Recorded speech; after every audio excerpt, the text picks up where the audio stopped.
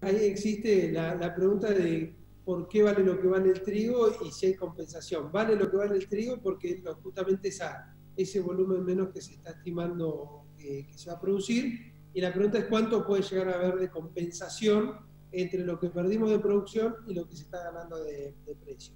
Y si bien existe, te diría que pega mucho más la pérdida de producción que el aumento de precios foto de hoy, eh, y que obviamente eh, si, en algunas zonas eh, necesitaba 3.500, 3.700 kilos para, para salir hecho, eh, hoy probablemente hoy no es que no necesites eso, sino que estarás en 3.300 kilos, digamos, haciendo una cuenta muy, muy rápida y para ganar una región, te diría que el centro-norte de la provincia de Buenos Aires, en este número que te estoy compartiendo.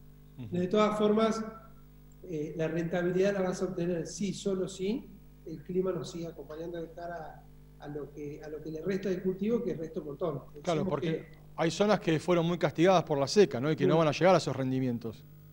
Totalmente. Y, que, y que además eh, la zona productora de trigo en la Argentina se estuvo sembrando hasta bien entrado el mes de agosto, ¿no? O sea que eh, no solamente tenemos que hablar de seca ahí, sino que también tenemos que hablar de cómo impactaron las, heladas, que también fue, me parece, mucho más fuerte para el caso de la cebada que para el caso del trigo. Pero así todo, eh, son, son preguntas que el mercado todavía no tiene resueltas y que las va a ver bien, las va a ir contestando a través del precio en función de los próximos 20, 30 días, te diría.